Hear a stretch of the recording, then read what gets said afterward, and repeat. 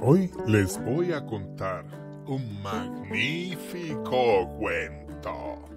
Se llama El cohete de papel. Había una vez un niño cuya mayor ilusión era tener un cohete y dispararlo hacia la luna. Pero tenía tan poco dinero que no podía comprar ninguno. Un día, junto a la acera, descubrió la caja de uno de sus cohetes favoritos.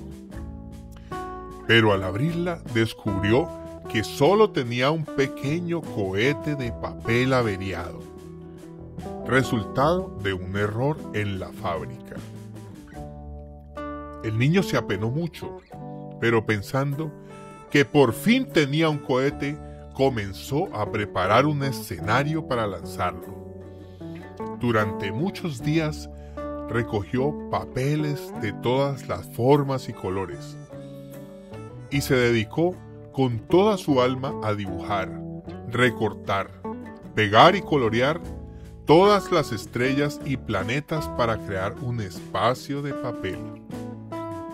Fue un trabajo dificilísimo, pero el resultado final fue tan magnífico que la pared de su habitación parecía una ventana abierta al espacio sideral. Desde entonces, el niño disfrutaba cada día jugando con su cohete de papel, hasta que un compañero visitó su habitación y al ver aquel espectacular escenario le propuso cambiárselo por un cohete auténtico que tenía en la casa. Aquello casi le volvió loco de alegría y aceptó el cambio encantado.